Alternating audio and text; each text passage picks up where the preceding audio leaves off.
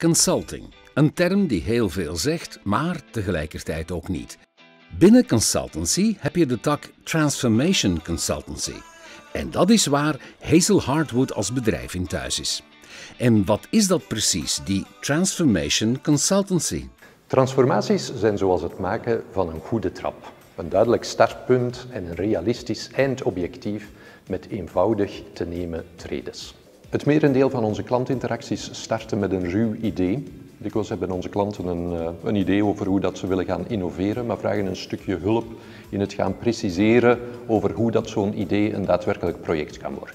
Wij helpen u uw klantenrelaties te verbeteren door u te helpen altijd beschikbaar te zijn op het moment dat de, uh, de klant van u het verwacht. Binnen Business Transformation focussen we ons telkens eerst om een duidelijke context te creëren waarin data gebruikt zal worden.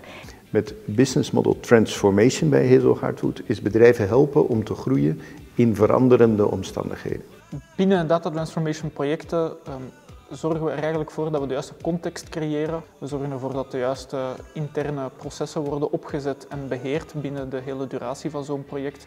We werken daar meestal via Scrum en Agile methodologieën die dat we toepassen. Een van de objectieven die we hadden toen dat we Hazel Hardwood begonnen, was om toch ook wat verder te gaan dan pure shareholder value. Waarbij dat we gezegd hebben dat we graag ook iets teruggaven aan de maatschappij. We noemen dat Regeneration for Society. Een goed voorbeeld daarvan, denk ik, is toch wel Experience at Work. En dat is ook waarom we Hazel Hardwood heten. Je ziet de stam en de takken boven de grond, maar daaronder zitten de wortels. En die wortels zijn voor ons minstens zo belangrijk. We build the story with the best people. And these people are the heart of Hazel Hardwood.